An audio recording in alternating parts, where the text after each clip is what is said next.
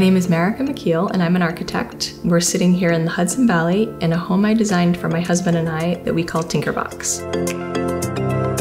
So many people ask me why Tinkerbox. Well, this house is just about the things that we love to do, my husband and I. It's about our hobbies and what we can do here that we can't do in the city. So when we found the property, that's when I started designing the house. It's all really about place and about how it sits on the site. A lot of the way I design is just constantly being able to see outside. The corner window behind me, that's our favorite part of the property. A lot of the house was designed around having a window seat, and I sit there all the time. The quality of the Marvin windows allows me to design exactly what I want. So there's something to be said about framing a view versus just expansive glass.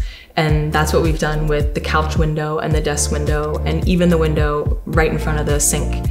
So it's really kind of like a picture. You're looking out this window and you're just getting what I want you to see. In the evenings where the sun sets is actually our favorite spot on the property. So we kind of knew we wanted to open up the house in that direction. And uh, what we also really liked, it was important to us to be able to have a place where you can walk outside and be on that level. We were really part of the land. The space is definitely about flow and continuity.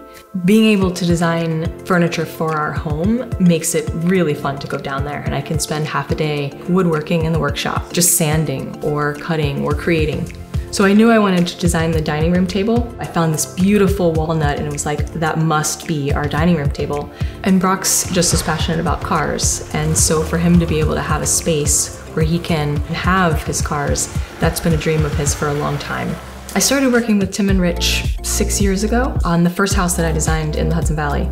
Building on this particular site was a lot of fun. It's always exciting to explore new ideas and things we haven't done before. The siding was finished with a technique called shou sugi ban. You actually char the wood with a torch, and then you can add an oil on it if you want to, give it a sheen. Marica and her husband Brock did it all themselves. We wanted to get our hands into this. Like we appreciated the idea of being able to actually char the wood ourselves. It's really about the texture that it creates and about making it. We have a lot of windows in the back and we love that. It makes our room feel expansive, but we needed curtains. The opportunity to work with fabric and textile was something that I've never done.